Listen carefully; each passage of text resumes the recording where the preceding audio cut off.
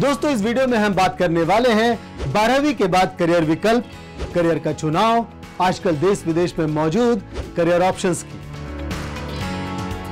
दोस्तों, विद्या लाइव आपको शिक्षा में सही विकल्प की जानकारी और करियर गाइडेंस देने के लिए लगातार मेडिकल, इंजीनियरिंग, मीडिया सहित कई अन्य विषयों पर वीडियो बना रहा है।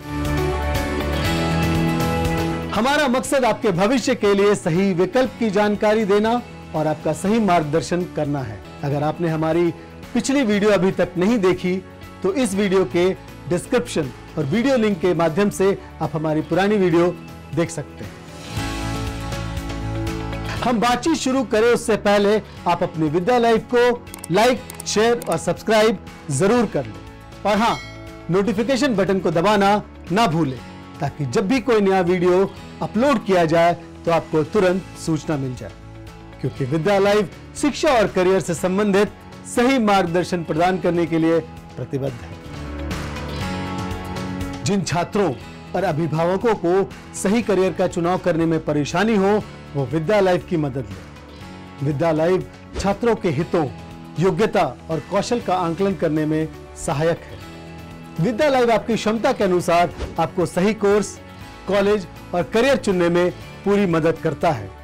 क्योंकि जानकारी के अभाव में आपके साथ धोखा भी हो सकता है।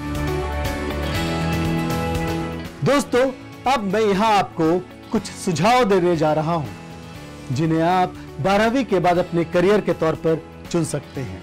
सबसे पहले प्रोफेशनल कोर्सेज आज प्रोफेशनल कोर्सेज का अपना ही जलवा है। छात्र चाहे तो बारहवीं के बाद इन कोर्सेज का चुनाव कर सकते हैं। आप चाहे तो IT, media real estate management hotel catering promotion sales travel and tourism fashion designing event management public relation जैसे कई प्रोफेशनल कोर्सेज हैं जो खूब डिमांड में हैं। यह ऐसे क्षेत्र हैं जिनमें नौकरी का काफ़ी स्कोप है। दूसरा डिफेंस सर्विसेज़ अगर आप देश के लिए कुछ करना चाहते हैं तो इसके लिए एनडीए सीडीएस किया जा सकता है।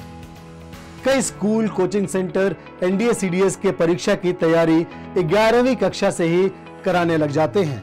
पर छात्र बारहवीं कक्षा में भी इस एग्ज़ाम की तैयारी कर सकते हैं। वही बात करते हैं इंजीनियरिंग, मेडिकल या साइंस फ़ील्ड की। अगर छात्र इंजीनियरिंग, मेडिकल या साइंस फ़ील्ड में करियर बनाना चाहते हैं तो वह बारहवीं के बाद किसी प्रतिष्ठित संस्थान से बीएससी पास या बीएससी ऑनर्स कर सकते हैं। आजकल बायोटेक्नोलॉजी जेनेटिक्स इलेक्ट्रॉनिक्स जैसे विषयों में भी ग्रेजुएशन करने का विकल्प है। आप बारहवीं के बाद इंजीनियरिंग या मेडिकल कोर्स भी कर सकते हैं, लेकिन इसके लिए एंट्रेंस एग्ज़ाम को पास करना ज़रूरी है। अब बात करते हैं कॉमर्स और कंप्यूटर साइंस की। आज कॉमर्स के फ़ील्ड में भी काफ़ी विकल्प है, जिसे छात्र अपनी पसंद से चुन सकते हैं। इस स्ट्रीम के छात्र भविष्य में M B A C S C A financial analyst जैसे क्षेत्रों में सुनहरा करियर बना सकते हैं। कंप्यूटर साइंस कोर्स की डिमांड भी काफ़ी बढ़ गई है। अब आते हैं आर्ट्स पर। आजकल आर्ट्स का भी बोलबाला है। भले ही कई छात्र और पेरेंट्स आर्ट्स को अन्य स्ट्रीम के मुकाबले कमतर आंकते हो, लेकिन सच तो यही है कि आर्ट्स के क्षेत्र में भी असीम संभावनाएँ हैं। आर्ट्स स्ट्रीम के छात्र बारहवीं के बाद सिविल सर्विसेज़ की तैयारी कर सकते हैं। आप इकोनॉमिक्स साइकोलॉजी हिस्ट्री फिलोसफी आदि में ग्रेजुएशन कर सकते हैं। आर्ट्स से ग्रेजुएशन करने के बाद आप सिविल सर्विसेज़ में जा सकते हैं। इसके अलावा MBA journalist market analyst teaching anthropology human resources MSW आदि में भी आपके सामने कई विकल्प मौजूद होते हैं। दोस्तों, आज के वीडियो में इतना ही।